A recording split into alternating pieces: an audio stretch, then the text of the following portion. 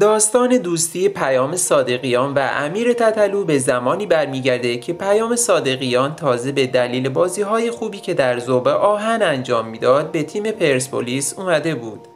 و از اونجایی که امیر تتلو هم عشق پرسپولیس بود و آرزوی راهیابی به این تیم رو داشت ولی به دلیل یه خواننده زیرزمینی بودن و کلی حاشیه امکان چنین چیزی نبود جایی که حتی دیگران نمی‌تونستن رفاقت یا هوادار بودن خودشون رو نسبت به امیر تتلو ابراز کنن این پیام صادقیان پرهاشیه بود که با امیر تتلو نه تنها ابراز دوستی می‌کرد بلکه باهاش سر تمرین پرسپولیس عکس یادگاری هم می‌گرفت تا همه این دوستی رو بدونن. اما پیام صادقیان که حاشیه های زیادش از جمله درگیری با داور، حاشیه های او با مینا نامدار و عکس های قلیون کشیدنش که هر از چندگاهی براش حاشیه ساز می‌شد، بازی خوبش رو کمرنگ کرده بود.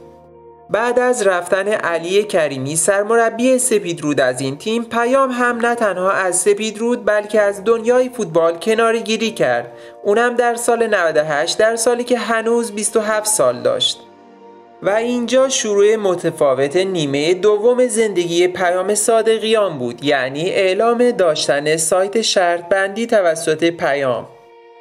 بعد از رفتن پیام از ایران دوستی او با رفیق قدیمیش بیشتر هم شد. فرنس در خدمت مارادونای ایران پیام صادقیان مارادونای ایران پیام صادق سوراخشون کردیم پرسپولیس چیکارش کرده تا اینکه پدر آراد حسینی بعد از کلی گله و شکایت از علی کریمی در فضای مجازی به دلیل عدم توجه کریمی به آراد مدعی شد کریمی صفحه پسرش آراد رو در اینستاگرام بلاک کرده و تتلو با انتشار پست باعث حمله برخی از هوادارانش به علی کریمی شد. در این بین پیام صادقیان پرهاشیه که همیشه از عشق و علاقه به پرسولیس می‌گفت با انتشار یک پست از جادوگر حمایت کرد. موضوعی که باعث شد او هم از سوی برخی هواداران آراد و تتلو مورد هجوم قرار بگیره. و تتلو در مورد پیام بنویسه با وجود حمایت هایی که از علی کریمی انجام دادی او اصلا تو رو به حساب نیاورد. ولی علی کریمی هم با یک استوری از پیام تشکر کرد.